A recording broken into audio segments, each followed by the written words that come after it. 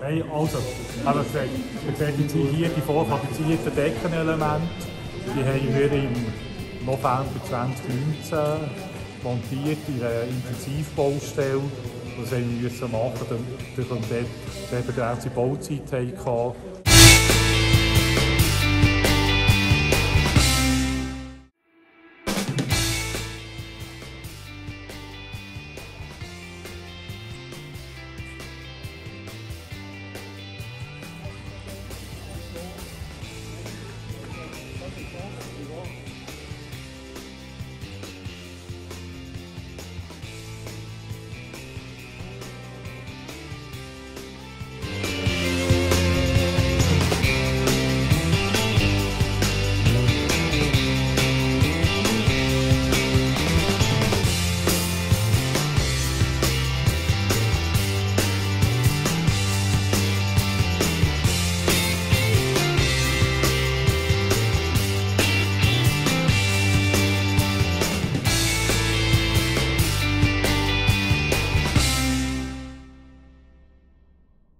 Als einschaltet, so, sieht das Gebäude aus.